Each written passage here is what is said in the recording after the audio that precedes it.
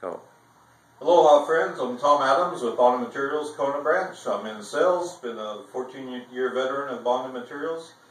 I have a lovely wife, Evie. We have four children, two left and two left. One in San Francisco, one in Colorado, two in high school. I love bonded materials and I love what I do.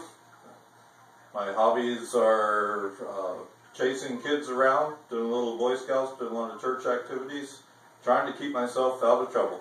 Thank you. Aloha.